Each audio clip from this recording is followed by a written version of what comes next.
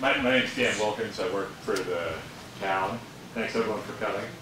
I'm the Director of Public Works and Engineering for the town. We're actually live streaming our presentation tonight. We're trying to figure out if uh, we need to use the microphones or not in order for the live stream to work properly. I think you need to be close, I think you need to be a little closer to our mic, or we can pull one of them out. Okay. So maybe I'll stand over here closer to a mic, make sure. Oh, that's funny. Yeah.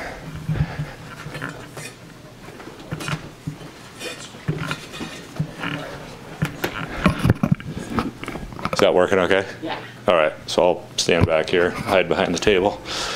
The, uh, so thanks everyone for coming. Uh, This is an update on our West River Streetscape project. I know a lot of you came for a similar meeting about a year ago, and then things stalled out with the project. Uh, We did maintain forward momentum, but when we met a year ago, our plan at that time was to have uh, brought an assessment district vote to you all as the property owners last fall. We ended up not doing that because of a couple of reasons. One, we were finalizing some stuff with the railroad, and we actually have a couple folks that work for the railroad here that have been very helpful to us. Um, One of the things we were trying to do is buy land from the railroad. We don't actually own the land, but we were buying easements from the railroad. And being able to get those easements in the town's control were, was very important to being able to make sure the project was going to work. So we, we slowed down on the assessment district. We were in fact able to acquire the easements from the railroad, so that's done. The land uh, access that's needed for the project to be successful has been secured. And then, uh, and then we were busy with other things and COVID was slowing the world down. So things have dragged out longer than we had hoped, but we're getting things back on track now. So, um, and I'll, I'll, we'll dig into those details a little more. What I'd like to do is maybe go through and do introductions uh, of everyone in the room. So I'm, again, I'm Dan Wilkins. I'm the Director of Public Works and Engineering. I've worked for the town for 24 years now. So I've been involved with a lot of the uh, like the trails that have been built and the roundabouts and some of the downtown sidewalk projects and the sidewalk project over in front of the Truckee Donner PUD that happened a few years ago.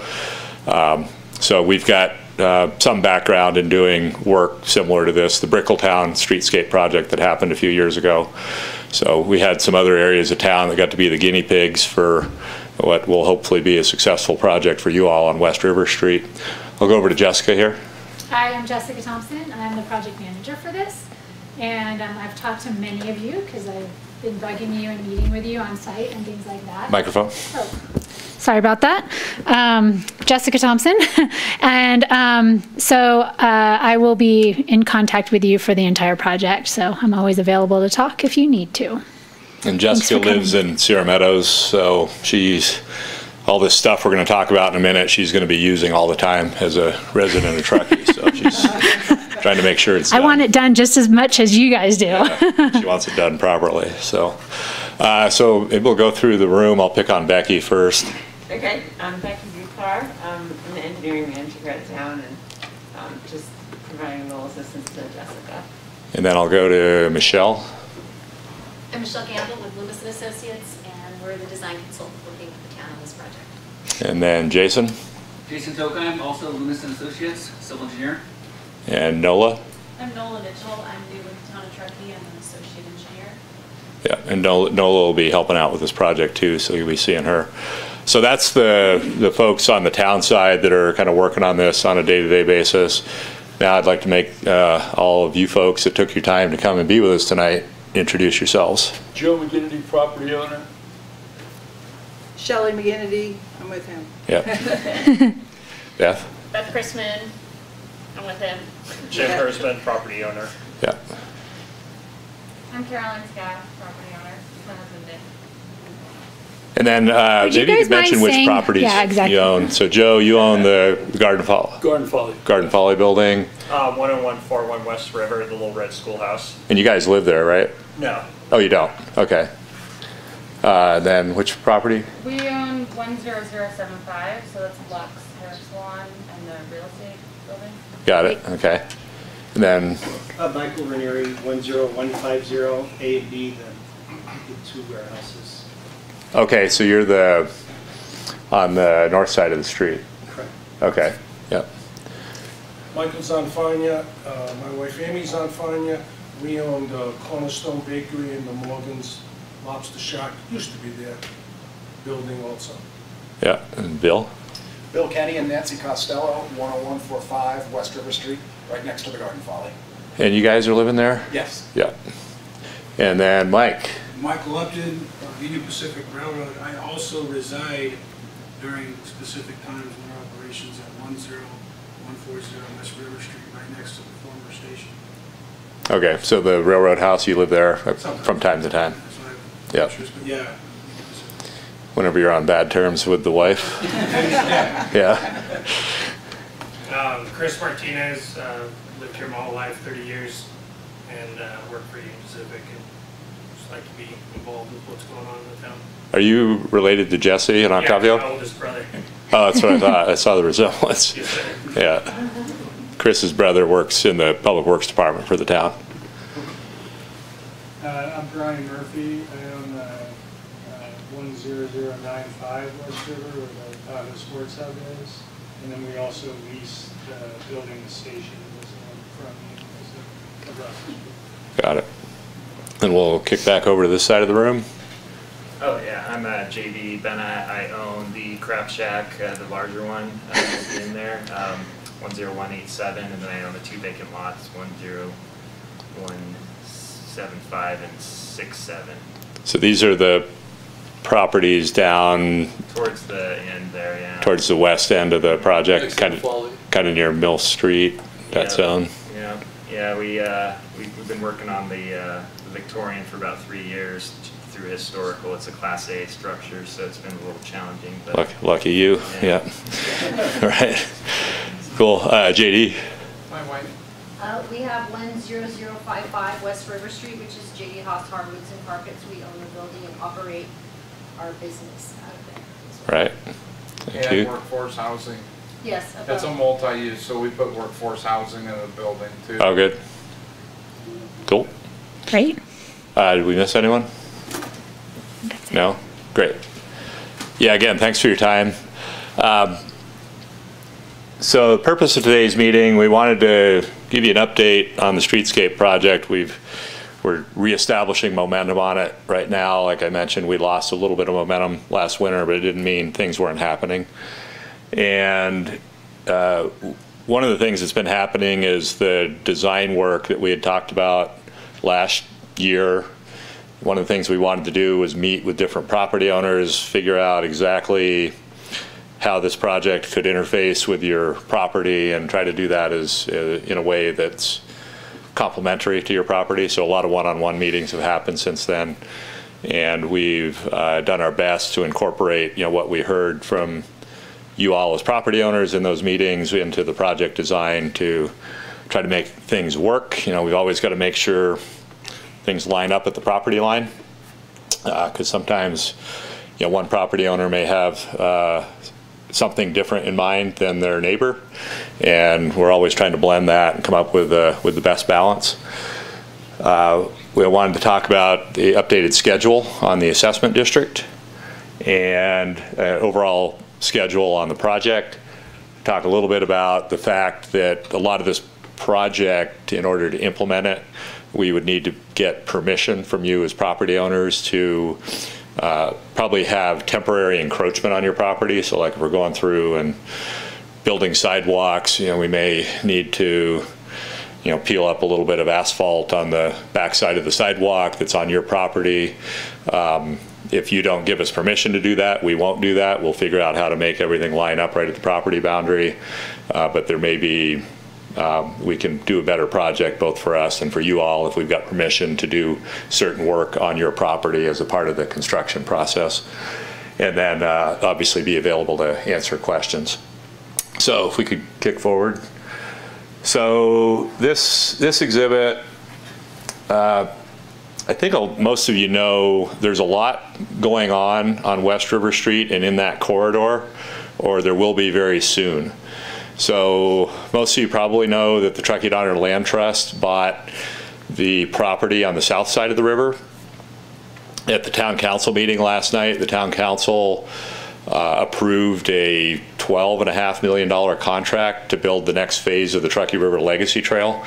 So what that would do is put paved trails in on the south side of the river from the Cottonwood area down to the river and all the way to, not all the way to Highway 89 on the other side, but most of the way to Highway 89. And then there would also be a bridge that would connect uh, what we refer to as the Old County Courtyard property across the river. So there'd be a, a bridge connection from West River Street down near Mill Street across the river, pedestrians only, no cars, that would create a, a new, so the, the only way to get there now from West River Street is to take the highway bridge on Brockway, on Bridge Street. Uh, now there would be a pedestrian-only bridge that would connect those two things. So that's in the works, and uh, we're, that'll be under construction this summer. Jessica's also working on a project to, this would probably be about three years, uh, put traffic signals in at the Bridge Street, Commercial Row, Bridge Street, West River Street intersection and improve the sidewalks across the railroad tracks. Probably about a seven or eight million dollar investment to make that happen. We've been working with the railroad on that. A lot of details to work through and uh, that, that's, that's in the works as well. And then another project that's in the works is uh, what's called the West River Park Project. So that's the old county courtyard property, which is the vacant lot across from the Flyers uh, bulk plant. And the idea there is to basically open that up to the public and and regrade it in a way that will make it much more uh, conducive for people to walk to that property and be able to get down to the Truckee River. Right now, the proper the the area is perched up about 30 feet above the river, and it's not. You, you can scramble down over the bank to get to the river, but it's uh, it's a it's it's a bit of a risky proposition for some folks to do that. So uh, the idea would be to improve that and create a river access spot on West River Street. Uh, maybe we kick forward. This is some a little bit more detail on on that area we're talking about. So the this is a schematic that I'm going to walk over there, and the online people are not going to like me because they probably won't be able to hear me. But Do you want me to point to something? You can stand up there. Sure, or maybe I'll talk here. So we've got, you know, Bridge Street here, West River Street here, Sports Hub there, Jack Steiner, the Jack Steiner parking lot.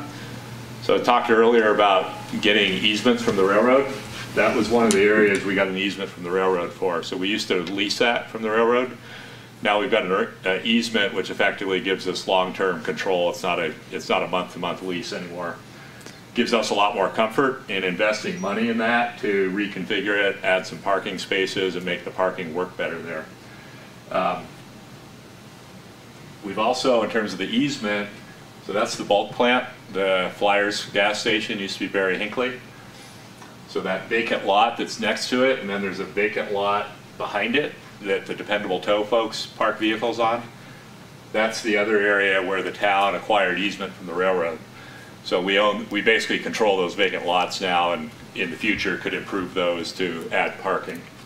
We're not proposing to, we have done some layout on what that can look like, but we're not including that as part of the West River Street project. The idea was to acquire that land, get it under local uh, control, and then have that as a resource so that if redevelopment continues to happen on West River Street, if maybe new development happens on West River Street, that there's land available to provide the parking for that development and that that could be, uh, that could happen as time goes on, as development occurs was the thinking there.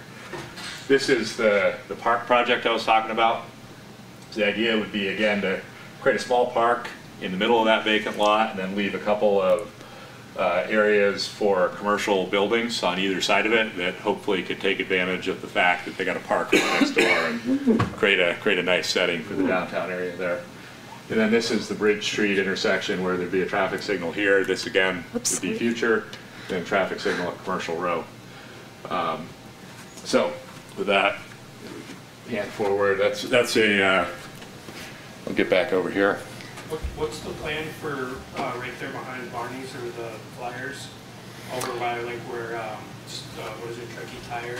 We have a gate right there that goes up to a switch that's on the railroad. Is there gonna be parking or is it gonna be like a building or something like that? Uh, The easement that we got from the railroad was for parking. And we're aware of the gate, Yeah. and that was uh, a condition of acquiring that easement was to keep that uh, open so that you guys can access it if you need to. Yeah. And we're not proposing to do anything there right now. This is a, an idea, I guess I would call it, of what, what a parking lot back there could look like. Uh, Maybe we could pan forward. So this is that park project. This is uh, kind of an artistic rendering of what that might look like on the And some other. That's a better rendering of it. So again, the notion there is that, that property's got a lot of fill that was put in there over multiple decades. Not exactly sure what the history of that was. There's probably some longtime Truckee, re- Truckee residents that know and aren't fessing up to it, but um, Hopefully, they aren't buried in there. yeah. The idea would be to remove a fair amount of that fill to bring the land elevation down and provide better access to the river. So, and then put in some, some features that make it a comfortable place for, for people to be. So that's, that's a, again, a schematic of what that looks like And will there be access from Riverside Drive as well? to the park. To the park, yeah. Yeah, so the access from, so maybe we could go back one slide, Jessica. So the question was, would there be access to Riverside Drive to the park? Answer is yes. So this is Mill Street and then Riverside Drive is here. Yes.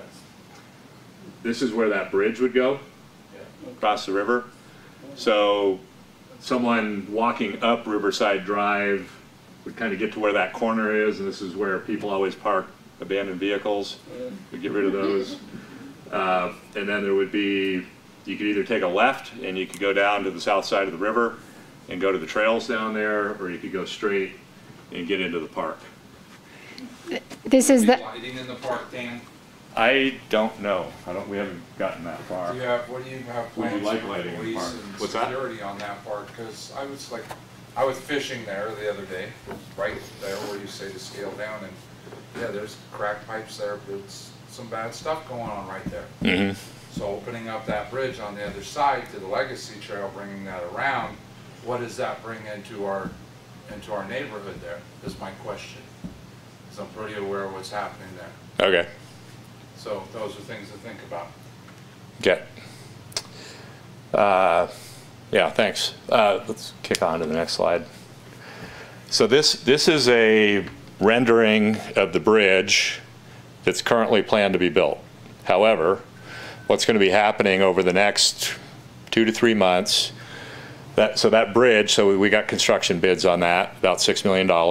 Um, Truckee Donner Land Trust is paying three quarters of the cost of the bridge. Uh, They had hoped that the bridge would cost more like $3 million. So um, paying three quarters of $3 million versus three quarters of $6 million is two different things. So what we're going to be doing with the land trust is looking at comparing this bridge and the cost of it to a bridge that's more similar to ones we currently have on other sections of trail in town. So uh, for any of you who've been on the Trout Creek Trail, the one that goes up the Tahoe Donner, where it crosses Trout Creek, there's a steel truss bridge that goes across the, the creek there. Very similar to a bridge that goes across Martis Creek. So if you take the Legacy Trail out to Glenshire, just before you start going up the steep hill into Glenshire, there's a steel truss bridge there. So we're going to, and those are relative, those are pretty economical as far as bridges go. So what we're going to be doing is working with our contractor, comparing the cost of this bridge to what the cost of a steel truss bridge would be. We're going to be talking with the land trust about that. And if there's, you know, a, a, enough cost savings of going to a steel truss bridge, that may be what this ends up being. So instead of this, it may end up being the steel truss. It would have the same functionality. So for someone walking across the bridge, you're still going to be able to walk across the bridge. You're going to be at the same height on either end. Uh, it's just the appearance of the bridge from kind of what what people are looking at that are not actually on it would be different. So.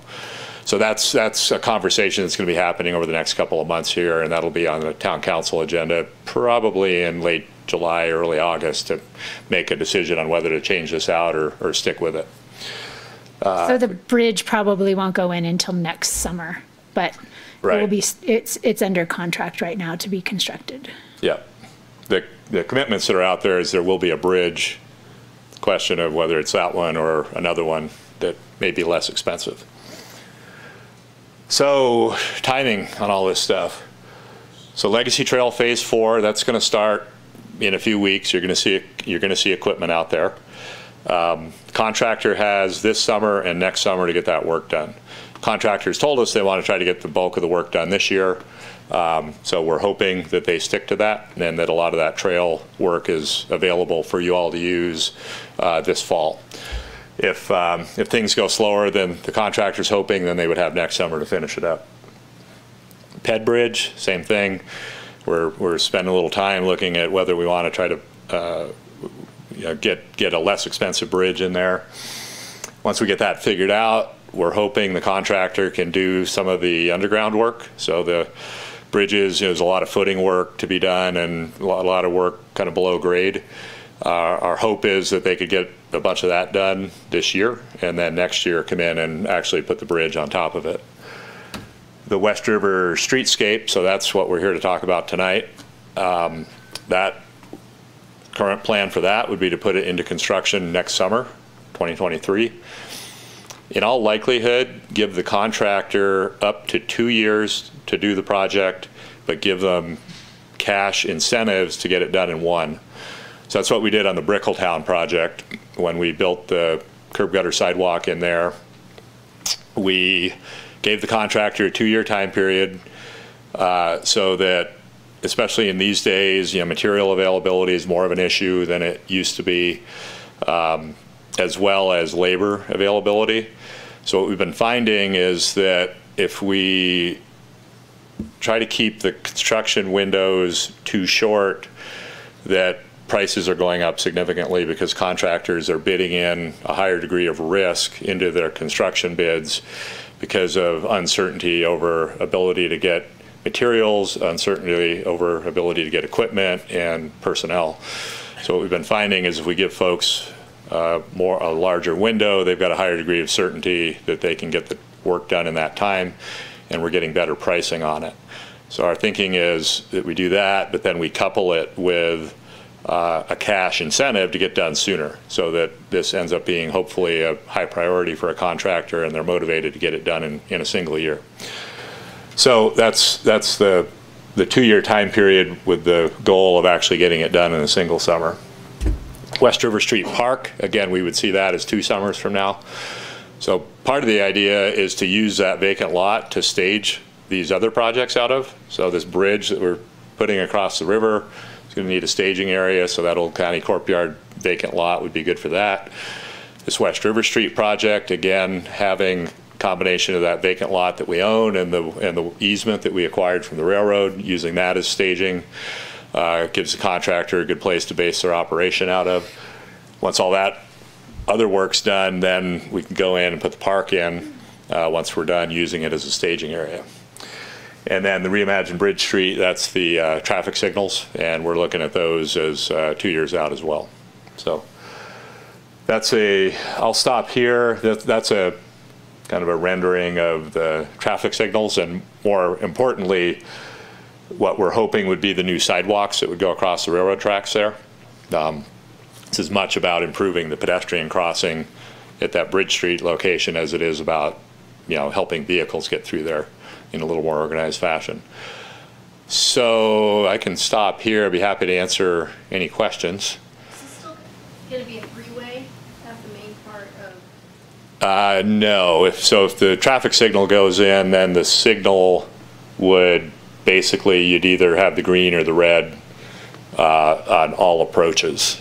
And then the signal would communicate with the railroad tracks to make sure that anytime a train's coming, the, the tracks, that the vehicles can get off the railroad tracks. and wasn't there some idea, I can't remember, about the roundabout from West River to East It was River? in the general plan that we took a look Yeah, no, no, no, you- you're, you're, you're right on point. We looked at that. So it was, general plan suggests we do roundabouts. We did a, a lot of work looking at roundabouts here. There were two things with them. One, because of the historic buildings being so close to the intersections, we didn't have room to put the roundabouts in without causing problems with the buildings, like causing them to have to go away. And then the other thing is that uh, currently, when um, when the when the trains come through, like if I'm going northbound and I want to maybe go to over towards Mountain Hardware, like right now it's a pretty easy shot for me to just go across the railroad tracks, ta- take a left, go down Commercial Row, check out what's going on there, head over to Mountain Hardware. But if a train comes, I'm immediately changing my plan and I'm making a left and I'm going over and using McIver Crossing to head over that way. Um, and I'm able to do that because there's another lane. So if people really want to go across the tracks and turn right, let's say to head up towards uh, the, um, you know, to, to the new rail yard area as an example, there's two lanes to accomplish that. So, you know, I can I can make a left and not get stuck behind someone that may want to wait for the train to get through.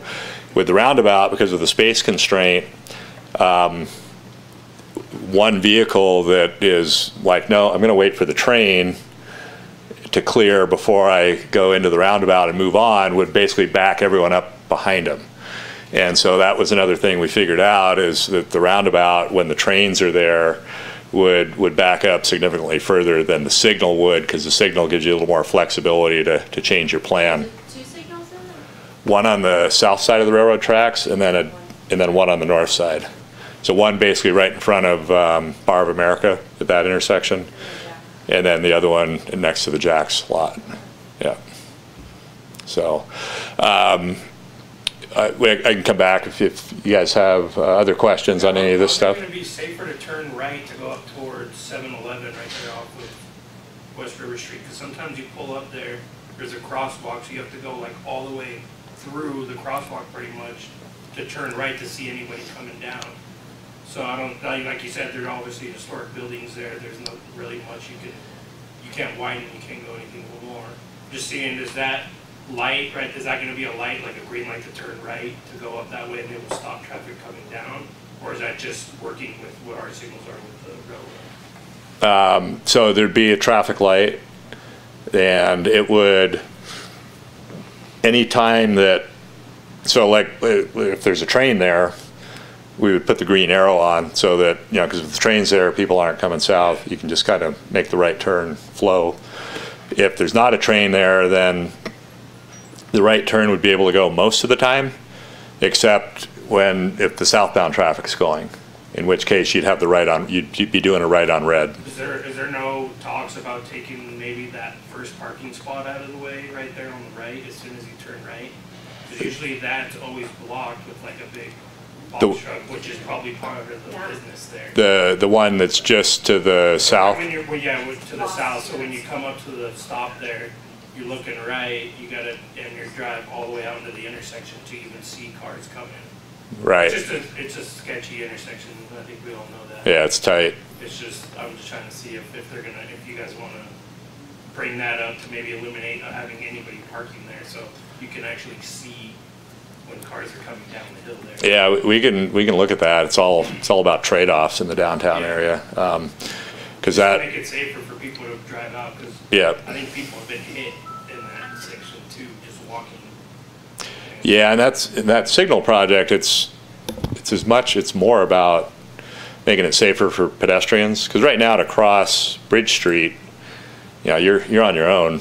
Uh, You're running. and, and what the signal would do is, you know, you'd have the ped buttons and you could, you could hit the ped button and it would stop the traffic to give you a safe crossing and not have to, not have to do the Frogger crossing or whatever it is that, that people are doing down there. Um, And just to, the intersections will feel different with uh, signals too. Right now, people pull forward really far, especially for that left-hand turn coming out of West River Street, because they can't see, be, because they have to like go as fast as they can, because that's a really hard left turn to make. When there's a signal there, the signal will tell you when you can go, so you won't have to, that car won't have to pull out as far to wait either. So the person that is making that right turn will have an easier time viewing it because the car isn't inching out as far as they can. So just those little things will change that intersection uh, quite a bit, I think. So it'll make it less sketchy, but it's not going to be perfect just because it's so tight and there's so much going on there. So uh, I'm going to turn this over to Jessica. One more question. Oh, yeah. Well, so, I'm acting as a medium. Someone is asking whether they can communicate to you that's streaming it right now. Is there any way of doing that? Um, to communicate to me streaming, no. Oh, like ask questions? Yes. They could text them to you and, and we could, Eh, that's okay, Dan. okay. Yeah. Yeah, that's okay. Nah, folks want to, if you know folks in the room, or uh, I can give you my cell number. It's uh, 530-414-3346. So if folks want to text questions in, go for it and I'll, uh, maybe we'll respond to them, maybe we won't. So, See, you have the choice. yeah. But you, ev- anyone can also email me any questions. I'm happy to meet out on site with people and, and that sort of thing. So, They just want input now. oh, okay. Okay. Any other questions on the future projects? Yeah, I have a question regarding timing on the uh, West River streetscape, as far as construction timing. Have you guys talked with contractors about, is this looking more like it's gonna be spring and fall? Is it gonna be all summer? Is it gonna be day, night? Yeah, so good question. Uh, it's so tight down there. My opinion is that doing this at night is going to be least impactful to the businesses. Um, I'm, I'm, we've got, I'm concerned about the residents on Riverside Drive terms of, you know, nighttime operations. You know, we've got a pretty good row of buildings there that help to um, screen construction noise. We would also, if we go at nighttime, put requirements on the equipment. There's different, instead of the high-pitched backup alarms, which are usually the worst offenders in terms of nighttime nuisance issues, there's uh, ones that are just as effective to make sure you don't back over someone, but that are not as annoying to the rest of the world. So uh, my thought is that we should be working towards this being a nighttime construction project um, with some limited opportunities for daytime construction that can be done that is not as impactful to businesses as, you know, like July and August is not the time to be doing daytime construction and closing a lane. So I, I think what we're going to end up with is probably giving the contractor more flexibility to work at night in terms of doing road closures or one lane closures, giving them some flexibility to work during the daytime in the shoulder seasons, and giving them very limited flexibility to work in the daytime during the peak demand periods is what we would be uh, probably settling on. So, and I see, it looks like Zach walked in. Yeah, You Want to introduce yourself, Zach? I, I'm Zach. I've got the, uh, the red light. Yep. And you know most of the other folks in here anyway, I'm sure, so.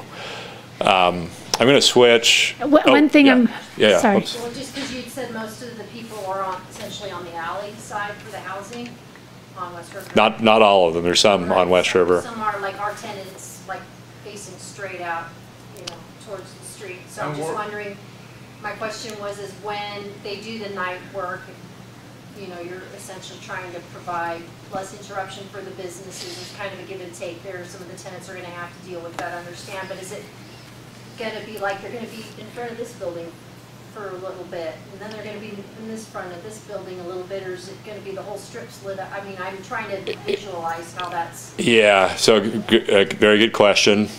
It, it ends up, it ends up being driven a lot by the contractor's resources and scheduling and how quickly they're trying to get the job done.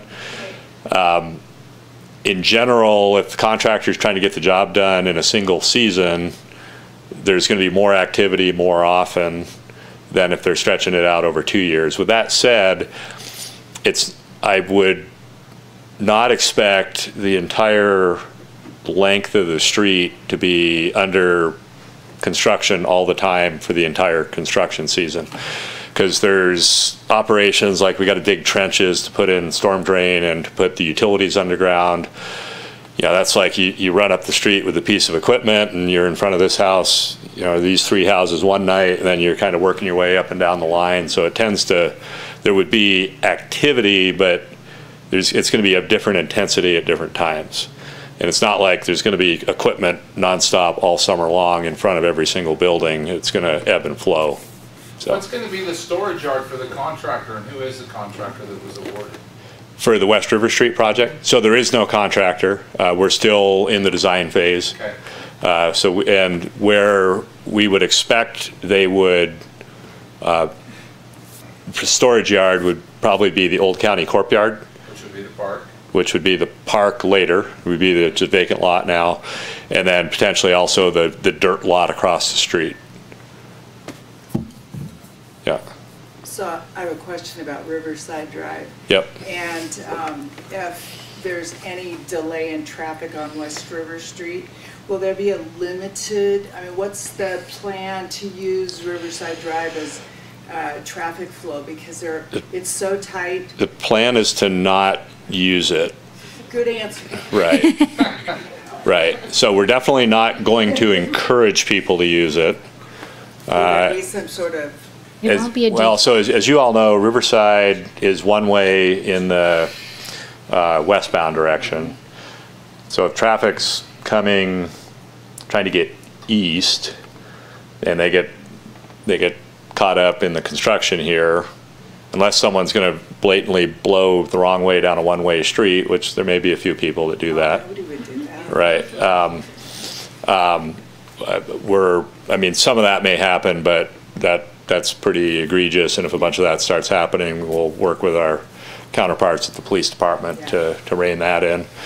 Uh, And then in the other direction, that's if you're coming northbound, making a left on West River, um, that's where there'd be more risk of people wanting to go down Riverside Drive. But that would also mean that we've got traffic kind of backed out into the intersection, down the street a little bit, um, because you, you don't know if that you're, you're kind of on, for that other direction, you're gonna be kind of up on West River. So, so that's an issue we're gonna need to manage, but the plan is not gonna be to encourage people to use Riverside Drive, and we would be actively discouraging it if it starts happening. Will Chief Renfro be given any additional funds to um, provide traffic control and bring in more people? Because I know we're short right now on officers in this community. Is Uh, there going to be a budget for him to handle these things, especially the growth of the community in that area? Probably not. I mean, I think we would just work with him with, and within his existing staff resources. So I, I'm not, I'm not envisioning, for instance, that we would, I mean, they have two officers on. right, so I'm not, right, so I'm not in, No, that's all we have. yeah, so I'm not envisioning that we would hire another three police officers, as an example, to have all three shifts covered, you know, daytime, nighttime, weekends, for the, for the construction period. So I think we would be On working. Safety protocol there too for OSHA through the, through the contractor too. Yeah, so the contractor would need to, Because the last one that happened on Donner Pass Road, the yard was behind our house, and Richard Street was oh, you're, where I live. Yeah. Richard Street was what you're calling what the front street of West River Street would be, and I could lay in bed and listen to him work all night. And Highway Patrol ran interference for him right there, mhm, probably because it's within the highway boundary. might have been, yeah, if it was So you're down, within the highway there, so they, they ran their traffic control for them at that point. So this is within town, that's what, why my question is that. Yeah. So we would work with the police department as needed. Uh, We're not anticipating that we would add a couple hundred thousand dollars to the project to hire more police officers specific to this project, though. Yeah. It seems like there's a lot of opportunity to detour people across the railroad track either direction. You know, to Yeah. go downtown and see what's going on downtown or Jibboom or. Yeah, we would use changeable message boards kind of on the periphery where people still have a chance to make a different decision to, you know, discourage traffic on that section of West River Street during times when, when it, uh, people are better off getting to and from wherever they're going, you know, on a different route, so, Not in Hardwick. yeah. Yes, sir. I think you might have answered the question, but there was a discussion of doing the utilities, bringing them underground as a separate phase before they did the streets. Yes. Did I hear it's going to be the same contractor doing both? That's how we would bid the project. And, and thanks for asking the question. So with, when we built the Brickelltown project, we, we wanted to give the contractor, again, two years to do it, so that if they needed it, they could use the first year to put the utilities underground and the second year to do the street improvements. That particular contractor was able to do everything in a single year and coordinate it all. And so that would be our hope with this uh, as well, is that you'd have one contractor that come through, do the utility undergrounding first, and then do the street improvements right behind it. And um, this might be clear elsewhere, but is, does that include gas down West River, or is it just electric? So- So the, what we're uh, looking at for utility work, underground work, uh, some would be storm drainage, because a lot of the drainage in this area is not well established. So it'd be storm drain trenching that would be happening. Up on the poles, there's uh, electricity, telephone, and cable TV. So that would all go underground. The, we weren't planning on doing any work with natural gas other than uh, in any areas where there's existing gas lines that might be in the way of some of the work we're doing. We would work with the gas company to modify those as needed, but we're not anticipating doing any significant changes to the gas line out there.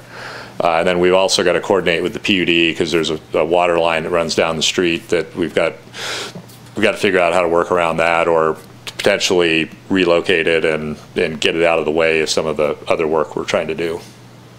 What is the distance between the, there's also a, is that an eight or nine, eight, eight or nine inch, uh, Kinder Morgan line?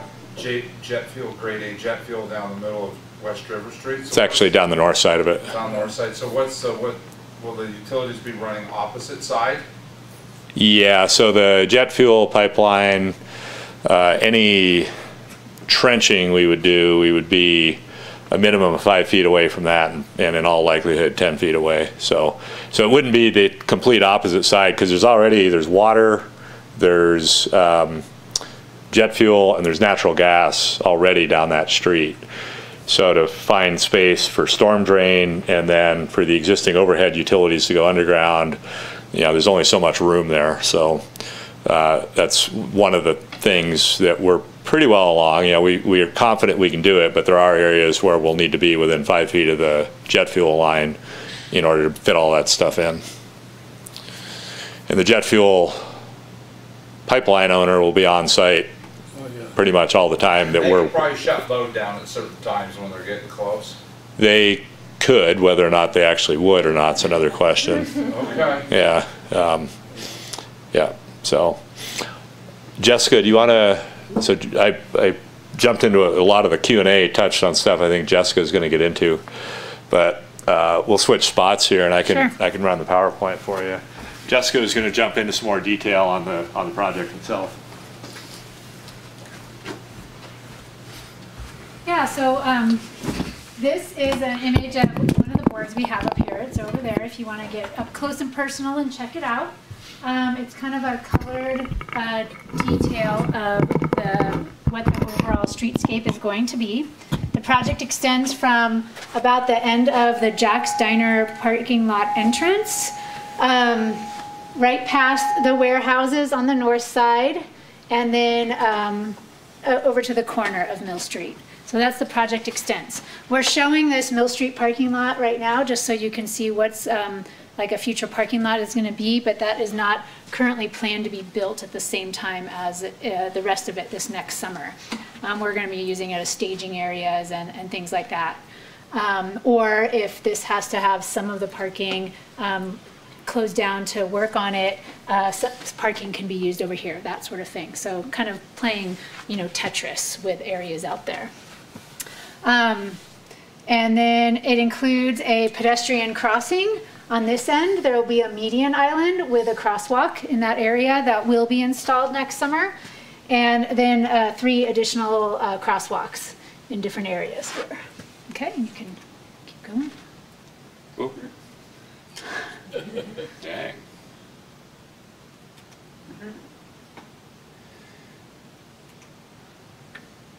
Um, and we've gone over our project goals in the past. Um, a big project goal is to put in sidewalks on both sides of the road so that we are pri- prioritizing the pedestrian connections, making it safer for pedestrians to walk back and forth to businesses, homes, that sort of thing on this street.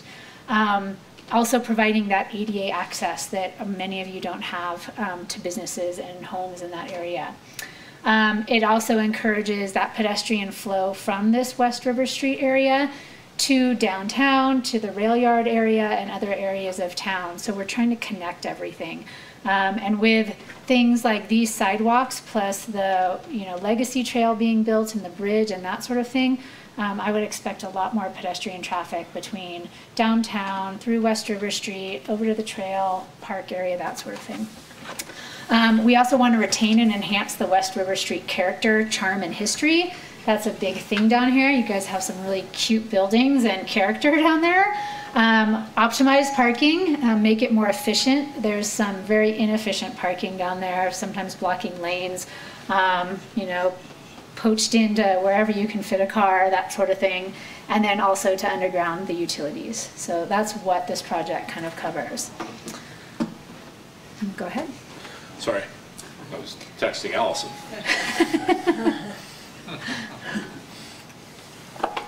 Um, and just as a reminder, this is why this project is needed. I don't know if you guys have tried to walk down the existing sidewalks on this street before. It's not ma- consistently maintained. Some people maintain it, some people don't. You have the cars sticking out into the lanes. Um, you know, even this building is like right on the side of the road, so you, it's really, you have to make sure you look before you get around it. We're trying to fix some of these problems. And you can click it again. Um, we do have a lot of design considerations we've made going through this area. Um, it's really constrained. That that is um, easement from the railroad. It's a lot of railroad land. The town doesn't necessarily own it. Lots of overhead utilities, the Kinder Morgan pipeline, existing utilities. Um, then uh, main, making sure we're maintaining access to adjacent properties and connectivity to adjacent projects. Um, we also have the ongoing private redevelopment projects that are coming, those, those five lots kind of at the western end of this project and making sure we fit those in and places for those as well. Um, and then uh, other design considerations such as funding. Um, that's always the issue, right? Coming up with the money. So go ahead. Um, this is the, an image of the Union Pacific Railroad image that we acquired from the railroad. So um, the corner here, uh, a little bit bigger area for the Jack's Diner parking lot than we had before, so including that kind of dirt area in front, which is where those head-in parking spaces off of the street will go. Um, enough room for a sidewalk in front of the buildings on the Union Pacific Railroad. And then um, the Mill Street parking lot and uh, the area behind Flyers and the tire shop. So Yeah. this is an image of where this property is that we Yeah, and and I'd like to just throw a shout out to Mike Upton on this. So the the railroad, there's a lot of different divisions. There's a real estate division, and there's an operations division, and there's a lot of stuff like that. So Mike is the guy who's the on-site guy that runs the rail yard here in Truckee. And at the end of the day, deals like this don't happen unless he says it's okay. Because at the end of the day, the operations division and the local operations guys have a lot of say in these kinds of decisions. And the fact that uh, Mike was, I'm not sure if he was uh, if it's supportive, but not feeling like he needed to object to this. And you know, and he, that's not fair. I don't know. You, you were you supportive of it. I mean, Mike was actually supportive of it, but. Um, yeah, that was it, it was a big deal. Um, so what we've found over time is to do these deals with the railroad, it's you kind of got to get have the right people in the railroad in the right positions at the right time to be able to make something like this happen. Because uh, if someone in real estate doesn't want it to happen, then it doesn't happen. If someone from Omaha doesn't want it to happen, it doesn't happen. If Mike doesn't want to happen, want it to happen because he's the, the local guy, it doesn't happen. So you got to get people at all different divisions kind of in, in alignment.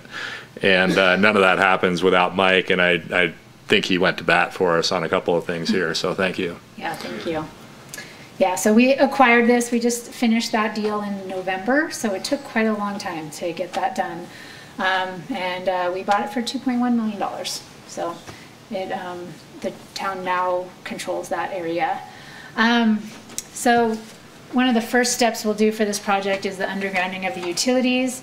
Um, most of this is the transmission lines on the south side. These are secondary transmission lines. Um, you won't have a lot of connections directly to your buildings. Most of your connections are from the Riverside Drive, but there are still a few. Um, I know the guys on the north side, um, Michael, your your buildings will have connections that we'll need to coordinate with and that sort of thing.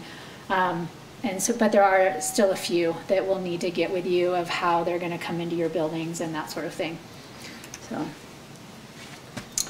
Um, this is the extents of where the undergrounding is going to go. So we're not doing all of this area with the West River Street project, but this shows the extent of the undergrounding that's going to occur in these, this area for both of those projects combined.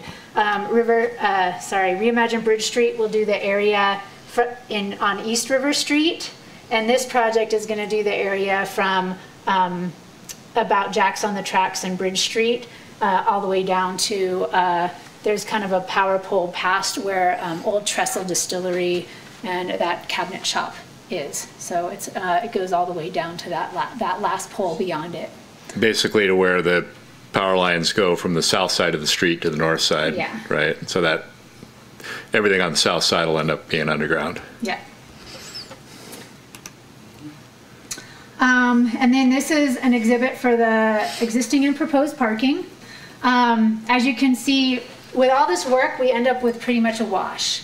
Um, we are taking away some of these um, kind of parking areas that are used in the right of way right now, um, but they're then creating more parking in like the Jack's Diner parking lot. That gets reconfigured. The angled head-in parking will be better than the um, parking in front of the sports hub. It won't stick out into the street. It'll be more like what you see in Brickelltown and um, that parking lot gets a little bigger.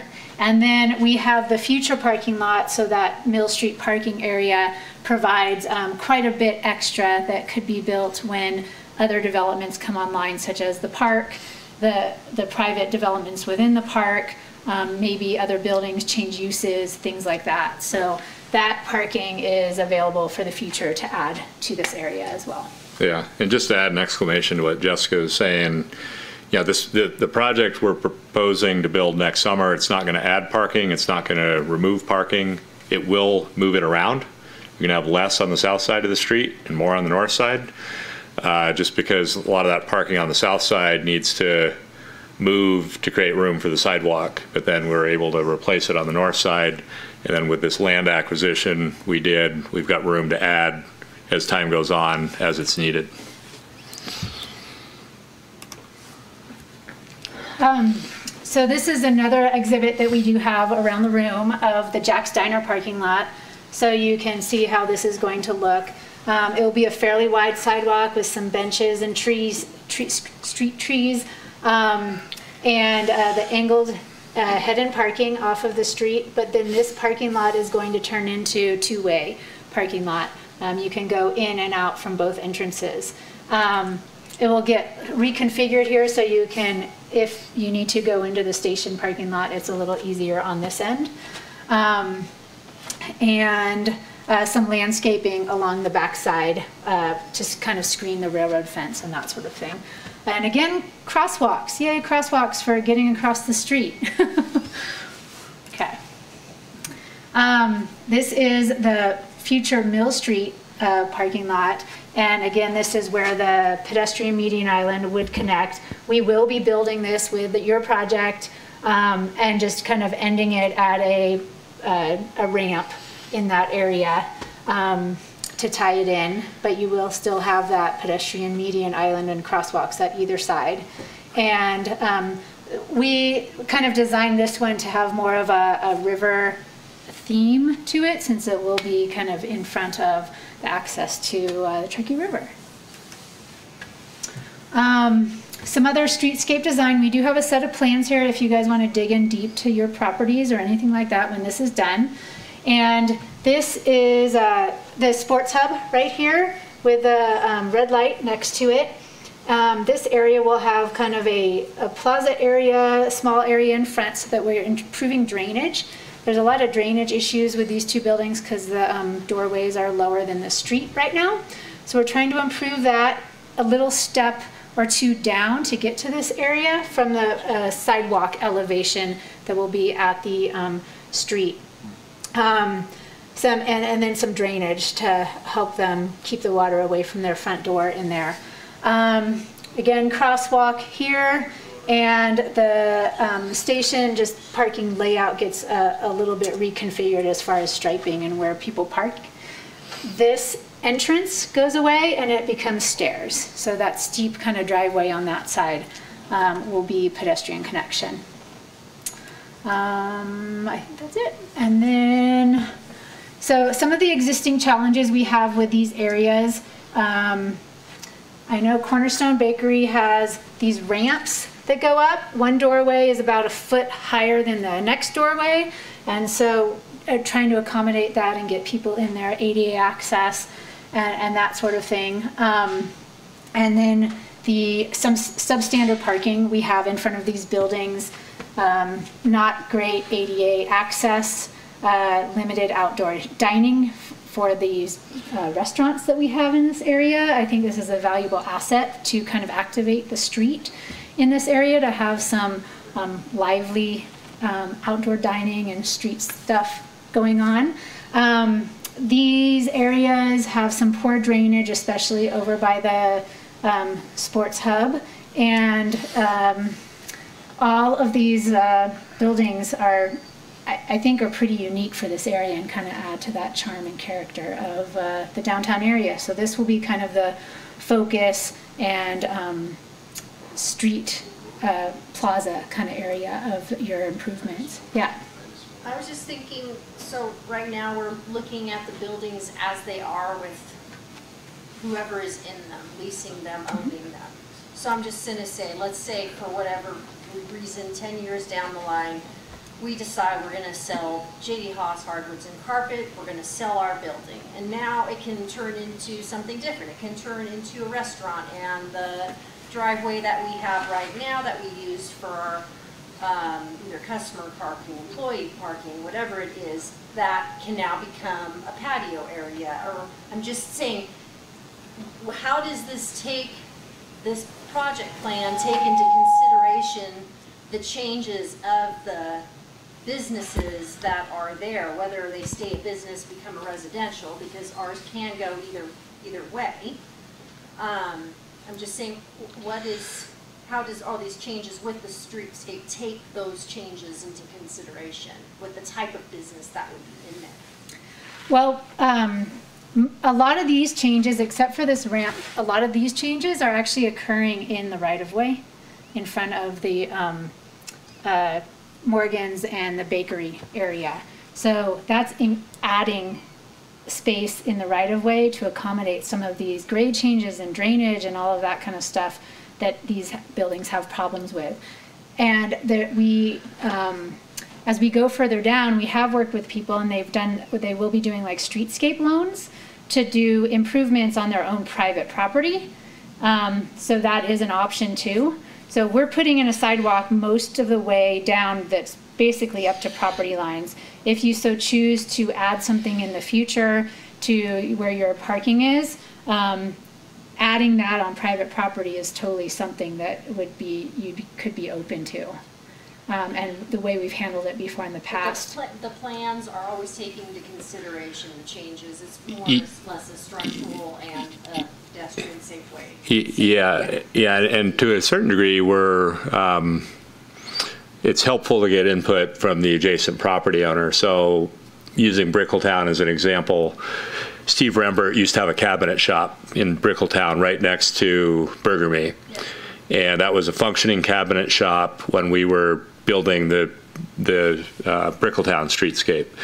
And what was important to Steve at that time as a functioning cabinet shop was that he have a loading area directly, you know, right close to his cabinet shop, and that also worked for his neighbors because it's like, okay, that can be the truck loading zone that can serve your building, but it can also serve your neighbors' buildings, and so it, it worked well.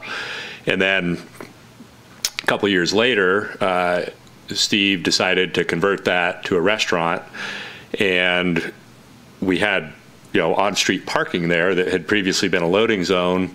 So then we basically changed the signage and, and got rid of the red paint on the curb and then made that parking because at that point the loading zone was less important to that property than the parking. So there's things like that that um, can happen uh, where we can, and, and that's just one example, where we can try to um, try, try to make sure we're accommodating current sit- the current situation, but also be thinking to the future and how to make a quick change to accommodate the future. Yeah, for the most part, this is a sidewalk going through here to provide, you know, ADA access and pedestrian connections and things like that. And we're trying to work with each property owner for the like transition behind how that sidewalk transitions into your existing property. Um, so for the most part, you know, you might be able to meet it, but there might need to be, like Dan said before, you might need to, you know, cut a little bit of extra asphalt in and put it in at a different slope just to make it a neat and tidy seam. Does that make sense? Yes, it Okay. Mhm. And, and as you're thinking about how you might be using your properties in the future, how they might be converting, you know, to the extent you want to share that with us, we can, and that that may help us build flexibility into this to make it happen, that's, we would, we would appreciate that. Like if you, like just as an example, if you didn't want your parking spaces anymore in, in the front and are thinking that's in the near future, we could do something like build, instead of driveway aprons right now, we could build in a sidewalk that has like a, a concrete slab underneath it with the paver so it looks like a sidewalk, but that you know you can drive over. Something like that. Yeah, because we've already had people approaching us wanting to rent out our garage and make it into a walk-up restaurant. You know, it's just, there's always just stuff that's already, Or they're trying to buy our parking or rent it from us. Mm-hmm. yeah, so it's just, you know, just good to know how this, that we can address those things individually, obviously. Yeah, so let me know if you have any ideas like that and I'm happy to, you know, think things through with you guys and how that might work. But I know you guys have existing driveways there right now that you use that we just need to accommodate your existing use for. Perfect. Um, Uh, Jessica, I think there's Or another. I can wait if there's a question to answer. No, go ahead. I, I was curious, I got new tires the other day at, at the tire place on West River, and I don't know if you know that gentleman, the owner, but he stands out with a radar gun. And, uh, has a good data set going of how fast people drive through that zone. And if any of you have backed out of our buildings, you know that it's like, almost like slightly kamikaze depending on the time of year, right? How stressed the people are, how fast they're coming from the other side of town. So I guess my question is, you know, that is, to me, is like a significant issue, and, and I love this, I love all the pedestrian stuff, but what, do you have any plans to mitigate the speed issues that we already see? Because it's just a weird zone. Psychologically, you're transitioning from like, kind of like a country drive into a high-dense area, and it doesn't seem like the speed limit drops appropriately for what. It goes Anyway, straight from forty-five to twenty-five. yeah. So I guess I just want. I mean, like, I, are you guys are you guys working on that? So some of the features that are designed into this will help with that. Um, just putting up signs won't help with your speed issue out there. Um, The radar ones though that show you how fast you're going, those can. Like I, I do think that there's some corrective measures. I, anyway, I'm sure the studies have been done. I'm not a traffic person, So- but were you around when we did Brickelltown? Yeah. Um, so that street was very similar at the end between where Burger Me is up to about Spring Street. It was wide open, kind of dirt, mud puddles on the side. You could go as fast as you want. It was a, a speed issue from Commercial Row all the way to where the roundabout was. Um, and with putting in sidewalks, putting in parking on the street to make it feel more constrained and tight, and um, that sort of thing, one of the property owners had the same exact um, thoughts you did, and we said, why don't you wait until this is done? If it still doesn't fix the Right. speed problem, then we will um, revisit that. But most of these design things, even just like the pedestrian median island on the uh, west end, will help with kind of that's your entrance to where you have your businesses and things like that. And in the future, when um, Old Trestle Distillery, that area gets built, um, there will be a second one in front of that building as well. So that should help with some of that uh, traffic calming And crosswalk. and crosswalks for both of those areas. What did you say there'd be, at Old Trestle, you said there'd be another light, no? A- another pedestrian median Oh, island. Okay. hmm Okay. Um, I think you can flip it. So this is an image of cut that area in front of Morgan's and the bakery. Um, they have uh, an ADA ramp that goes up here. Uh, when we did the um, grading and stuff for that, it's not quite compliant. So we move the ADA um, access to the middle of this, and then you can get to both of those um, buildings through there. Um, the ADA, uh, and then there'll still be the alley between the Sports Hub and Morgan's and access through that area. These will be, um, these are kind of movable planters, but um, I think we're designing this to be pretty much there for a while. The um, fences are designed to be used out of the, the tin building that's actually going to be removed in the future next to the warehouses. That is being demoed um, as a, it was when we purchased the um, Union Pacific Railroad easements, that was a requirement for us to demo that building. Um, so some of those uh, materials will be used to build this fence. It already started, got a demoing in the windstorm, you know? Sure. I got a question on the designs and stuff. Yeah. So why, why do we have so many like nooks and crannies when it snows in a place like that? It kind of doesn't make sense to me. Why we're making it look like somewhere where it doesn't snow. You want to go back? You mean nooks and crannies uh, Like- here? like No straight angles, like making it very difficult to clear snow or when it dumps, like where you can put all that stuff, you know? For the most part, this sidewalk is a straight area and we clear like a six foot wide path. So if there's areas outside that, other than like to a front door, um, we sometimes, le- we don't always clear the entire sidewalk on a, a on, on the, um, pedestrian access. We'll clear a path initially. So there won't be parking on that side of the road then? There's going to be a loading zone right in front of the sports hub.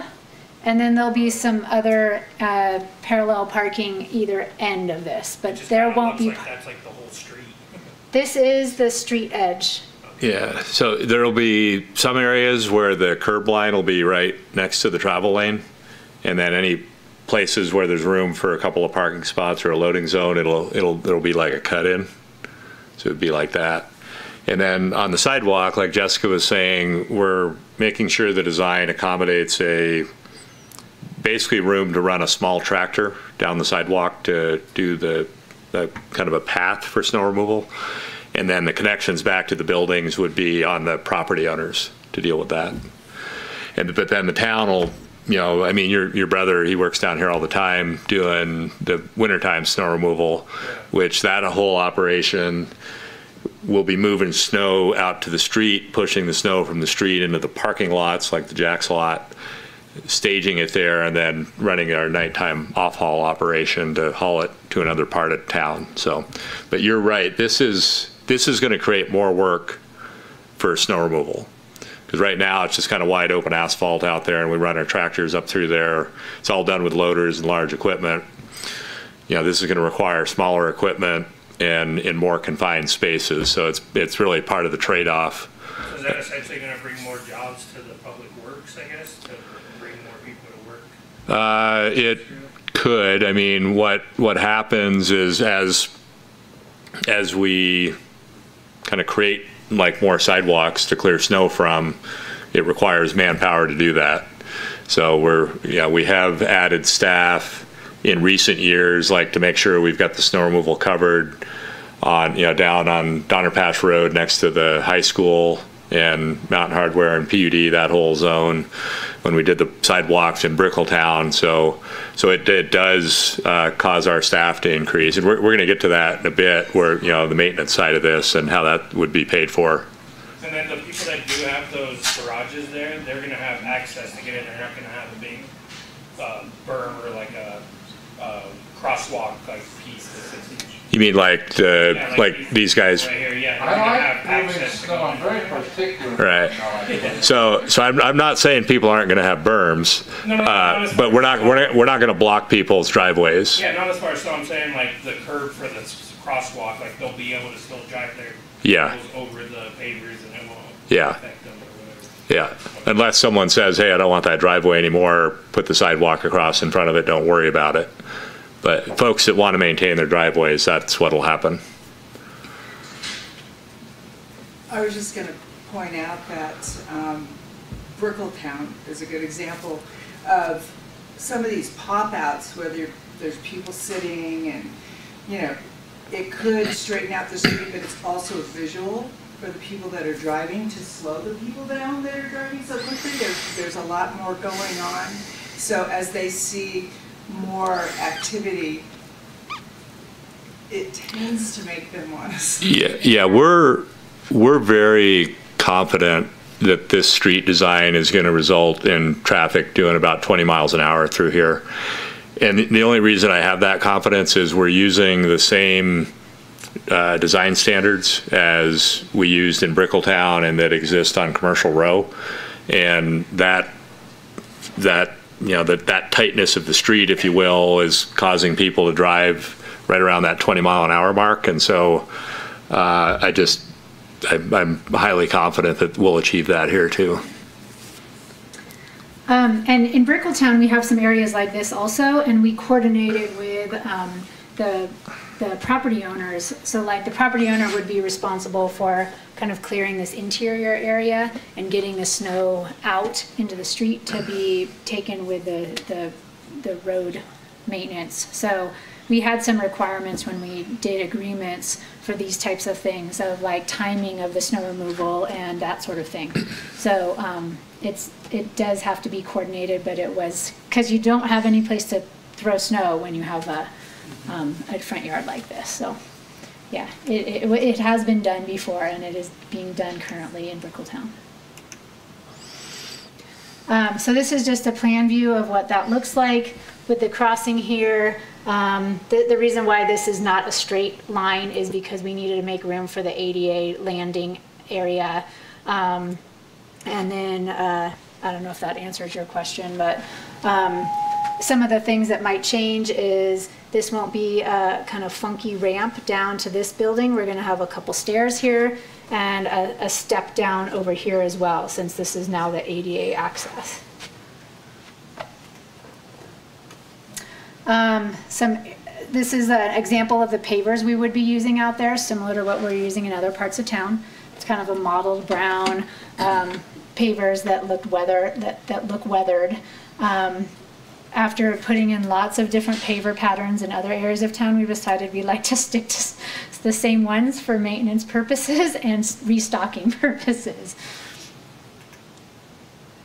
Um, so those are just some areas, we'd be using some of the same materials in, um, in the West River Street project, including like the same type of street lights and, um, the, uh, bike, bike racks, yeah. So you can scroll through those. Um, we have a new style of garbage can. These don't have to be emptied quite as frequently. They are compactors And these are the types we would be looking to put down in the downtown area. Um, I wanted to talk a little bit about the easements and license agreements. I think Dan touched about that uh, a little bit earlier. Um, where we need to like get onto your property just to like make your, where, where the property line is meld with your properties, we'll need license agreements just to do that kind of um, transition work.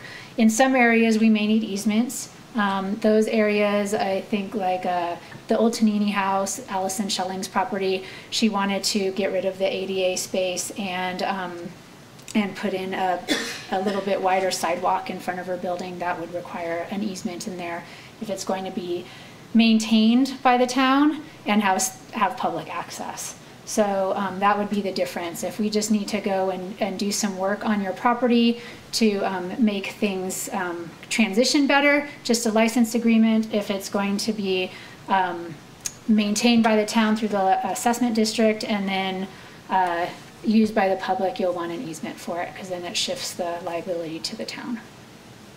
Any, any questions on those? those differences? Okay.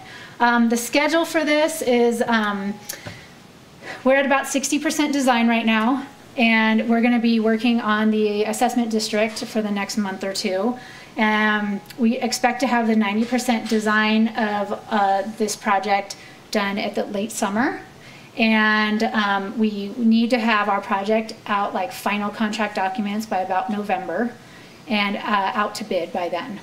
Um, so just to give you an idea of where that timing is. Uh, we hope to award this in January to a contractor and then start construction next summer. I have a question, Ms. on. Yeah. I mean, I know it's going out to bid.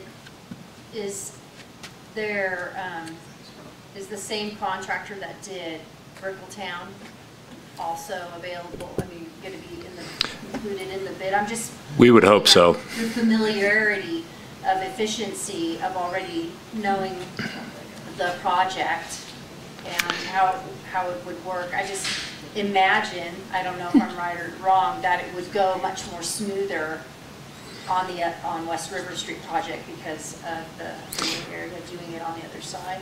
It would definitely be helpful as, if it's the same people there too, right? Yeah. Yeah, that- Because, I mean, there's, I mean, I'm just wondering if that's taken into consideration in the Un- bidding process. Generally, no. And, and it's because of the public contracts code, which is really intended to make sure that people like us aren't cutting bro deals with, uh, with our friends and relatives on projects like this.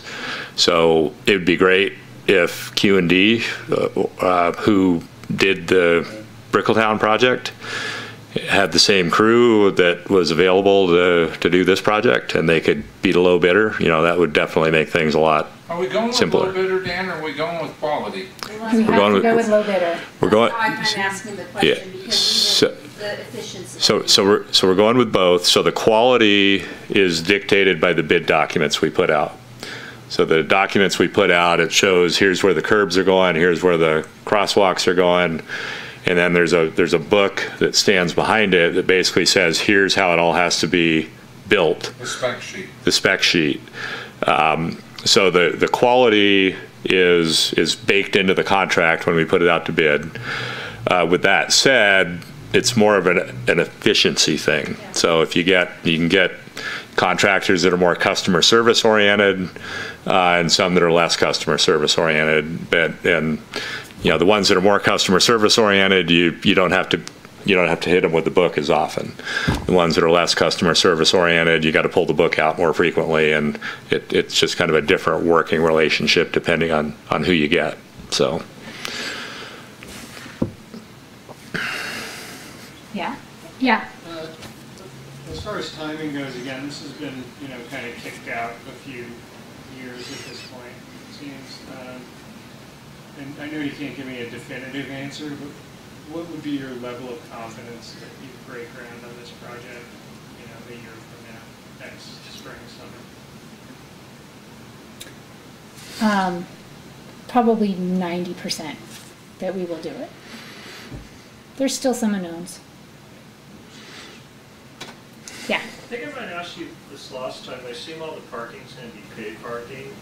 Is there any kind of forethought for doing like a resident parking permit? Is there any kind of residential lots that we have? We do have a residential parking permit that you can get through police downstairs, right? Yeah, it, yeah. So there, so the answer is yes, that will be taken into consideration. It, it, that's, uh, it, it evolves, you know, the way the m- parking is managed. And you've seen it, you know, owning property down there, it's like, it'll be two-hour parking and then it may evolve to, uh, paid parking. Uh, and then, so it, the spaces are there, then how they're managed tends to change based on the needs of the neighborhood as time goes on. And I forget, is there overnight parking downtown during storms? So Yeah. I'm just thinking for people at permanent residence, is there gonna be an option where you can leave your car with the proper permit without, you know, getting towed during snow removal? Yes, and so currently on West River Street, you can do that in the Jax lot. Okay. Um, a lot of times after big storms, you, if you go into the Jax lot, it's, it's a mess, that's the reason. Um, one of the things this project will do is actually makes the parking lot wider, which is gonna make it more, um, it, it'll make it possible for us to actually continue to allow that overnight parking to happen in there, but also do snow removal in the areas where the cars aren't parked, where right now it's almost impossible because it's too tight.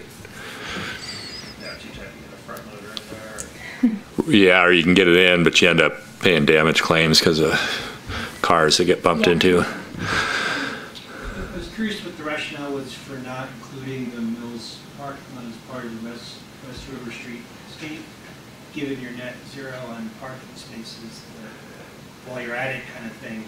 Why wouldn't you include the Mills parking lot as part of the space? Money. Yeah, so we've got a little over $8 million in the budget for the project right now. I'm pretty sure we're going to end up spending more than that.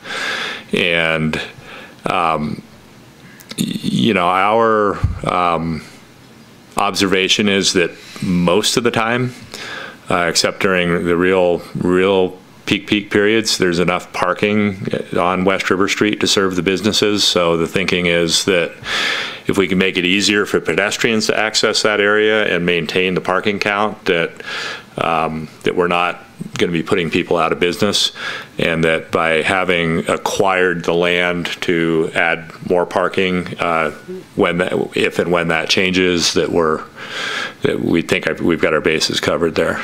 And given that you're in control of that land, because I think technically you're not supposed to park on it right now for overflow, will the town allow parking in that lot? We are not planning on barricading it off and posting it no trespassing or anything like that. So, um, you know, if it starts to get abused in some fashion, we may have to be more um, kind of assertive in terms of how that's managed. But, you know, that's sat there as a vacant lot for quite a long time. And um, it's not, doesn't look that great or anything, but I don't, I haven't heard that there's been lots of abuse that has resulted in the need to do kind of kind of change what's going on there. So I don't know if you have any thoughts on that, Mike. You know, you're the Mike. Mike. park there, I checking Thursdays and all that, and Yeah, once that building's down, which appears when they're condemned, maybe gravel or something, just to make it a little more aesthetically pleasing. could yeah, it could be something like that. I don't know, Mike. From I mean, from the railroad standpoint, have you had issues with that area? No, there's two things that will make us act, is if it's getting abused, you know, trespassing, whatever that looks like, or if it affects our operations. And as of now, the only trespassing that goes on there is just coming to this town to spend money and Truckee Thursday, so as long as it doesn't affect our operations, I won't act on anything. Yeah. Okay. So will it be, is it allowable for Truckee Thursdays? Yeah, from the town's perspective, we're not we're not planning on closing it down. If it starts blocking their access to the, their railroad and there is a gate in that area that they use and access through, that will be the issue. We don't make money by putting fences up and things like that. We do it to protect the public from us. Good, Oh, go ahead. Yeah, Just follow up on that, so since you aren't doing the Mills Street parking, What's the uh, north, where's the north side um, sidewalk gonna end? The north side sidewalk will end right at that, um, on, on the west side of the warehouse buildings. Yeah, ju- Okay. yeah, just basically right at the, Crosswalk, At the right at the crosswalk where that vacant lot, the second crosswalk. yeah, or the third, one from the the left. or the third, the, the furthest, We'll still have. Yeah, both right there. crosswalks. Right That's there. where it will. And then because the building's too close to the road, right? Yes. Okay, three-part question, where'd you allocate the eight million dollars from? from the general fund, so it's basic, General taxpayers fund? general taxpayer money. Where's the money from the parking going? The parking district, Yeah, and what are they using that money for? I guess it's a four-part. So the, the parking district money, uh, a lot of the 2.1 million to buy these, the vacant land came from parking district funds that have accumulated over the years. The balance of the parking district money is paid to um, fund like the snow removal on the parking spaces. Used to be, we were paying railroad leases on the parking spaces, um, enforcement, kind of the O and M on it. So. So the snow removal only is taken care of, of the parking spaces, but not in the right-of-way on the sidewalks? Correct. So- That was the general thought when it first went in, you know, Downtown Merchants Association, obviously, you're very familiar with that, which brings it up. Then who's responsible for moving the snow and paying for it all and maintaining these sidewalks coming to our community? So that's a great segue to the next part of our presentation. Right. Yeah. And the answer is, uh, the adjacent property owners, uh, it- that's, that's how it's been handled elsewhere. So that's the, you know, we talked about the assessment district at our last public meeting. I was going to go through that again uh, right now. Yeah. Sorry, just slightly just different question before you move on. Uh, there's the storm drain that goes between our two properties that wasn't, there's no easement. And you guys are talking about it, uh, diverting it down towards the park. Has, has there been any movement on that? Uh, the design currently shows that. Oh, okay. Yeah. Yeah, we've got, I don't know who put those drains in, but they did it a long time ago, and some of them go under buildings, and they're, they're in weird, not good spots, so we're trying to clean that up as much as we can. Anything else before we move on? Okay, I think. Okay, and we can come back to this. Maybe I'll just sit here. You guys are less intimidating the further away I am. Um, So landscape and late and lighting maintenance districts is what JD was asking about, and I think we've talked about this before. So what the uh, town is um, looking for is, you know, we're, when I say we, you know, the taxpayers, the town council, I work for ultimately the town council. Uh, They, they're basically saying, hey, we're willing to come up with the money to build this stuff, but we want to make sure that there's an ongoing revenue stream to take care of it. We don't want to spend eight or 10 or whatever, however many millions of dollars this ends up being, and then just have it not be taken care of. And um, we've got models for this elsewhere in town. When the Brickelltown project was done, we, we put what's called an, an assessment district in place where each property owner contributes into a fund. They, you, you pay the money through your, it's part of your property tax bill. There's a piece of it that, so it's not, it's, it's a surcharge on your property tax. It's not part of the existing, so it's a surcharge. That gets accounted for separately by the, by the county. They send the money back up to us. We pool that money and then we do the maintenance on it. So we've got districts like that. The Brickelltown project has one of those. The uh, the project over on Donner Pass Road, adjacent to the PUD and the high school, has a maintenance district like that. All the sidewalks in the rail yard are. That's how those are funded. There's a maintenance district for them. So that's what's being proposed here. Uh, in the with these other projects, you know, one of the conditions really that the, that the council put on the on the funding was that the maintenance district district pass. And I think the thinking was that if if the investment if, property owners aren't um, don't see enough value in the project to help fund the maintenance district, that maybe it's the wrong place to invest the money.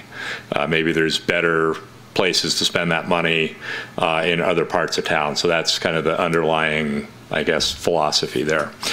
Um, so to create one of these maintenance districts, there's a, there's a process because at the end of the day that has you all as property owners voting yes or no as to whether or not you're supportive of it. The, the basic uh, concept behind it is, you know, you, we put together an analysis that says, okay, here's how much it is going to cost to maintain this. So it would be snow removal, uh, cleaning the sidewalks in the spring. You know, as the pavers get old, they'll occasionally need to be removed and replaced. Uh, there's irrigation uh, for landscaping that needs to be maintained.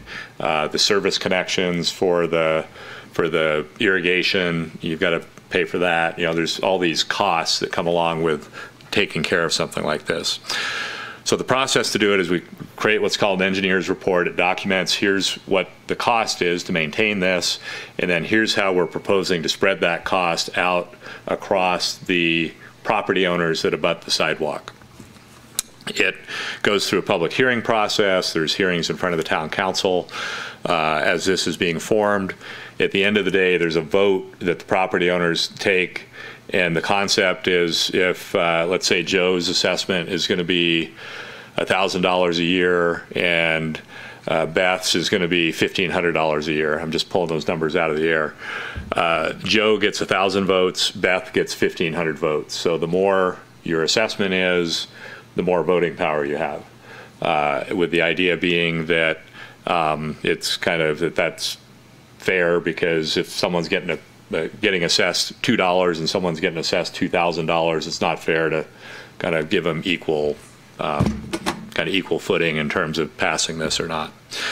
So ultimately, there's this process that happens. Ballots go out to each of the property owners, and then those get mailed back in, and then it's counted. And if it's uh, more than 50% in favor, then the assessment district passes. If it's less than 50% in favor, then the assessment district fails. Um, this map is kind of convoluted, but I'll, I'll try to explain it. It's on the table too, so Yeah. you can look at it in detail over there. So the proposed maintenance district boundaries actually go from the south side of the river across the Truckee River Bridge. They would include the sidewalks that would ultimately get built all the way up to the railroad tracks. And then the new sidewalks along West River Street all the way over to the, um, in front of the, what we're calling the old trestle. That's, um, uh, used to be a cabinet shop out there. So what is shown in purple are areas that are, it's kind of like no man's land in terms of an adjacent property owner. So you got the bridge across the Truckee River. You know, there really isn't an adjacent property owner to say, hey, you need to maintain that sidewalk. You've got, you got this section of sidewalk that would go up across the railroad tracks. It's next to a railroad house. Uh, if we send the railroad a bill for sidewalk maintenance, it's not going to get paid. And so we recognize that. Uh, no offense, Mike, but just we, we've been around that block. So um, over next to Jax Diner, same thing. You, Jax has frontage on the corner. Um, you know, they were like, well, gee, do I have to pay for sidewalk on both sides of my house or, you know, shouldn't, or of my business, shouldn't you know, the sidewalk that's on the main drag that's, you know, getting people across the railroad tracks, is that, should that really be on my nickel or elsewhere?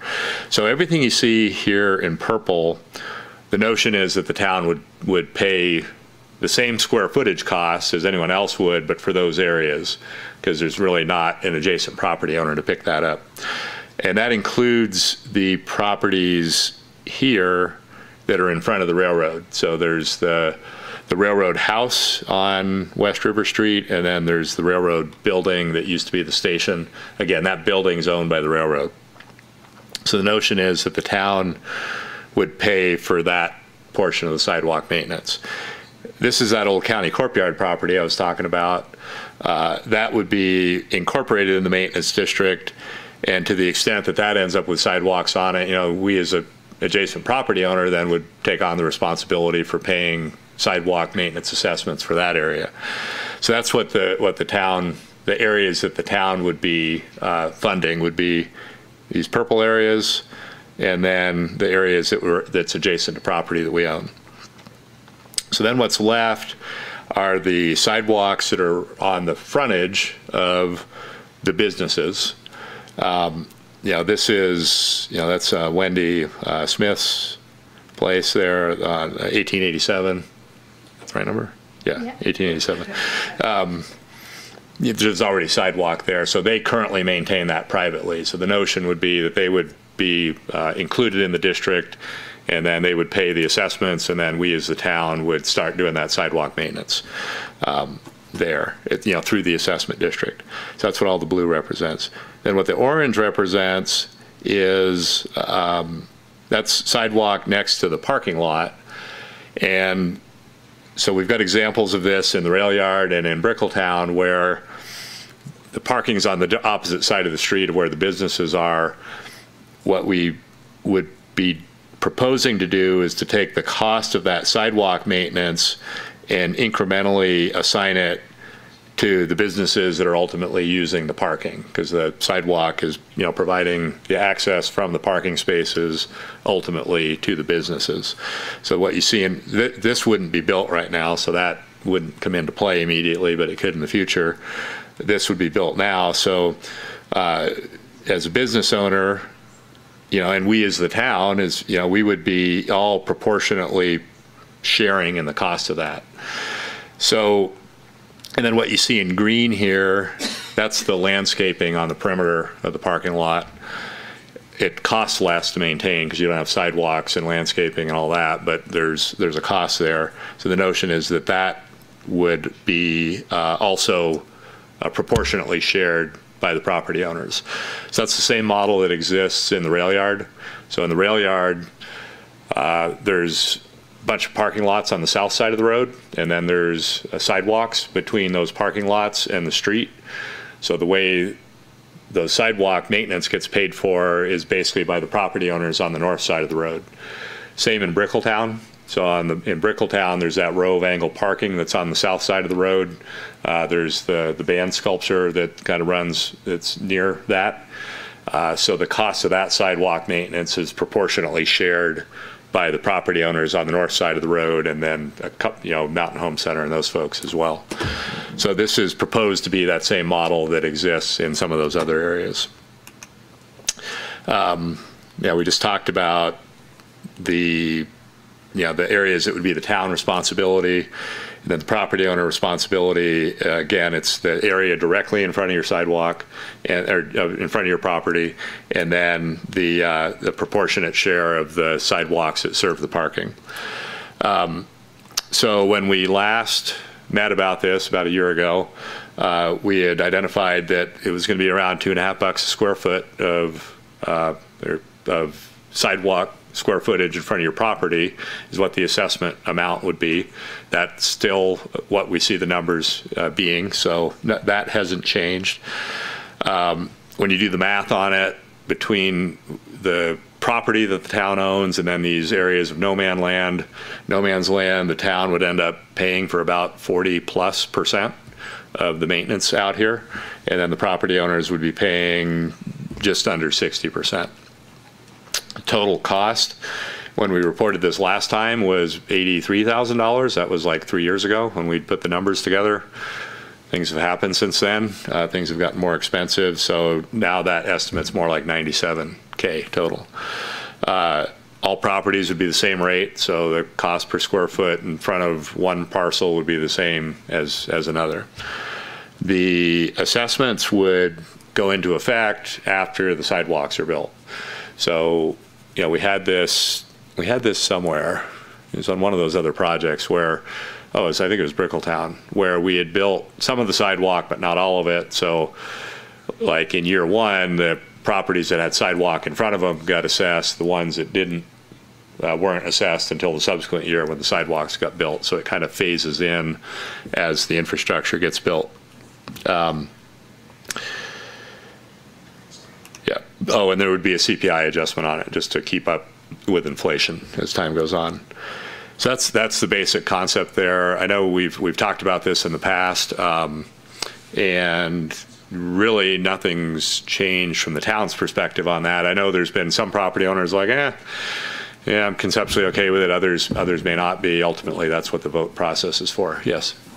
My brain's getting tired. So if you're a homeowner and you live in your you're paying the same amount as, let's say, but where you have a lot of customers coming in utilizing more spaces. I know you're That- going that- by the same amount, but I'm just Sorry. trying to think from Yeah, perspectives You know, that's it just kind of reminds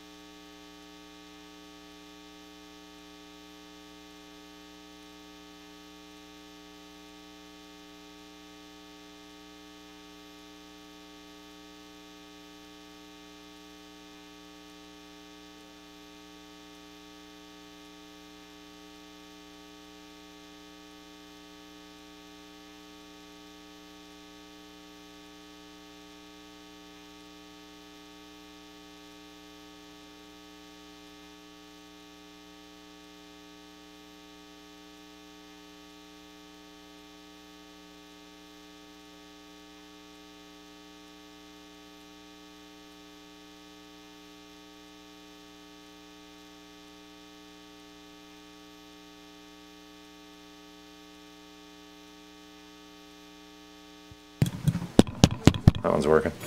Um, so yeah, you, what we did in Brickelltown is we actually we did have a accommodation for the residential property owners. There were like three or four of them where they did pay a lower rate until or until they if the property turned over. So if it was commercial, it was commercial. We didn't try to differentiate between uh, a flooring business and a restaurant. It was either commercial or residential. But for properties that were just a full-time home, we actually did assess those at a lower rate with a provision that if they switched to a commercial use, that then the rate would would go up to the same rate everyone else was paying. So that's something we could look at here. I'm trying to remember if we have any just single exclusive residential Yeah, that was a different Homes. mechanism that we used for. Oh, we use the CFD. district. That's right. So it was a different legal mechanism. What's that? So we, we would need to look at that with our assessment district engineer to see if th- these, there's like three or four ways you can do these things. And each one of them has their own set of rules. And depending on which mechanism you're using, you've got different flexibility. And what Jessica just reminded me of so we used this thing called the CFD, which had more flexibility in terms of the taxing structure. The landscape lighting district that we're structure, I think, is don't have the same flexibility. more rigid, right? So that could be an issue. Is there a way to raise the parking so they can all pay for it who comes here? The Can we raise the cost of parking across the board to cover all these funds for all of us during the past couple of years of very difficult time? I suppose, you know, that's another policy issue. What's that? Yeah, that's what I was thinking. I mean- I mean, they're coming to use the parking, and they're coming here. Yeah, I think, th- well, they're coming to you, coming to frequent the businesses and then using the parking as a means to do that. So our higher parking rates, um, so like get rid of the maintenance districts and, and spin off more money from parking, that I suppose could be an option. That's not, not the one that's been used so far. Technically, the parking um, meter use, is that more for like the actual structural projects than not so much the assessment part? Is that how parking is in the past or what its purpose is for, is for future actual projects, but not the maintenance of them? So the, the parking revenue, uh, up to this point, has funded, uh, the ongoing operation of the parking, snow removal, striping, paving, sealing, enforcement. And then it's also, in this case, funded the purchase of that land to provide the ability to add parking should it be needed in the future. So those are the types of things that that money's been used for, uh, to date. Well, as it, re- it's always related to some type of parking, To date, that's been the case, yep. but it's not been used for uh, the maintenance or clearing. That part of it is passed on to, so far has been passed on to the property. The maintenance and clearing of the sidewalks. The maintenance and clearing of the parking lots and the on-street parking, that's funded by the parking district. But the area in front of the The sidewalk area is what is, is, the property owners have paid for. What's the annual estimated revenue of the new Mill Street parking that you've got there? Do you have the number on that? Right now, it's zero because it's a vacant Right, lot still. Once you put it together, you obviously have a number on it.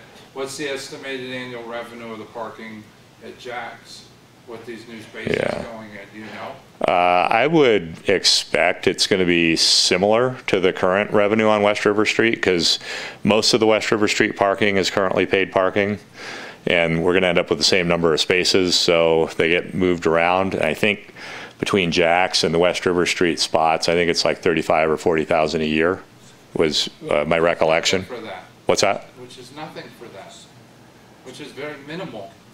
Um, Why I propose you raise the rates. So I'll leave it All there. right, uh, so you, you heard it here first, right? I'm not, I'm- I guess what I was asking is, you know, if there's flexibility in it just being a, a vote versus it just being yes or no, I want this, but room for, like I said, a proportion, a, a percentage of that parking can go towards, um, lowering the assessment rate, or, I'm just I- I- talking out loud and maybe not making Sure, no, no, no, I, I think I follow what you're saying, and I, I think at the end of the day, anything's possible.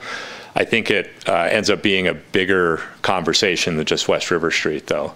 No, everybody, Yeah. everybody, because you know that the conversation's happening, not just here. Mhm. It's happening in all the districts. It's been the conversation. Uh, Joe? Yeah, two questions then.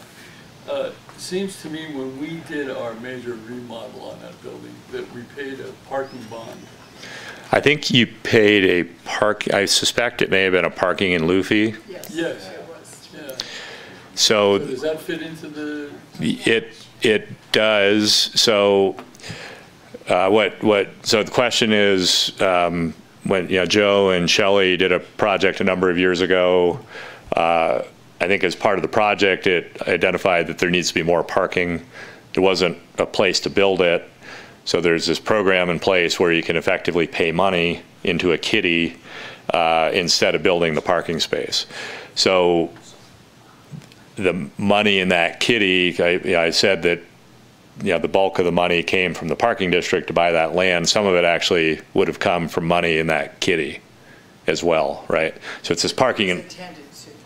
Yeah, so it's a parking in lieu fee program. The notion is you can't build the space, so you put money, money in the bank, basically, to, to be able to build parking at some place in the future. So, yeah, so we use parking in lieu fees for some of that acquisition as well. so is any offset with those funds that were paid? Or, uh, because I, I mean, we had like seven parking spots and we did bicycle, we had to put a handicap up. And- and Right. That's beside the point. The other thing that I think I understood is that the assessment's gonna be based on square footage of sidewalk. Yes. I think we need to do a little uh, trim on that bunion you have in front of our building.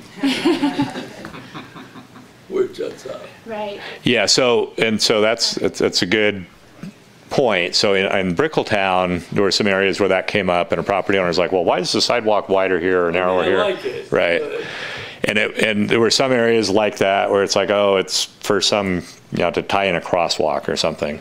So there were, what we did in Brickelltown, and this is why these conversations are good, is we said, hey, there's some areas like that that we'll kind of throw into that common Okay. right? So it's like, okay, that one's wider to accommodate that crosswalk, and the property owner would prefer, would prefer to have a parking space there with less sidewalk, but they can't. So there's there's some finessing like that, but it's not like it just goes away. It just means that it we need to be able to justify it to everyone else in the room Absolutely. whose Yeah, whose no, house it's not in front of, I right? understand, I understand that it, it would probably do something to slow traffic down too, with that Right. bump out, you know. so. And it, um. Shades the parking. Curb line in and, and, and some, uh, parallel parking, right? So it's kind of a, I just thought it was an oddity when I saw it. yeah. Mhm. Sometimes you have to fit it in because it's, um, it's not a regular street. I'll fit it in when I write the check. Right. Uh, so, so Jessica, I, th- I think so. There's a project website. The we we didn't actually list it because it too y- y- long. it's too long. But if you Google West River Streetscape Truckee, Yeah. it'll get you to the project website. And I believe there's a table in there that identifies all the different property owners, or maybe it's an exhibit. There will be, so all the stuff that we have out today will get put on that website, and once it's all up on there, I'll send out another email to you guys. Yeah, so, so I'm sure folks in the room are like, okay, these guys aren't telling me exactly how much is my number. Uh, uh, So to get, to get that right now, what you could do is you can go to the website or you can look at these exhibits, look at what that square footage number is in front of your property and multiply by 2.43 and that, that's going to get you right in the ballpark in terms of what, what that, um, what that assessment would end up being. Six foot wide by length unless you have more space? Yep, Okay. yep. Yeah, so the number should be on that map that has the, the color coding and stuff, so the, you can take a look at that as far as square footage. And, and let us know if they're wrong too. I mean, sometimes people are like, oh, this is, or, Set of plans here that are, if you really want to hone in on what, what things are looking like in front of your property. I So- also have some blow-ups of, um, some of the areas that I'll probably be contacting you guys about soon is their, their transition areas. Right, I was gonna ask for elevation. Yeah, so, um, if you have, wanna talk to me about that, come by, and then there's some other areas that aren't like, yours is fairly straightforward because it goes in the driveways, so we're not gonna leave drop-offs. We have a couple of, we have two elevations. We can discuss that privately, I don't want to take anybody's more time. Okay, but, um, like, Jim, we have probably some questions on how we wanna transition your areas and, um, in plan set? things like that, so. Um, who else was in here? I think, um, those guys over there. So thanks a lot.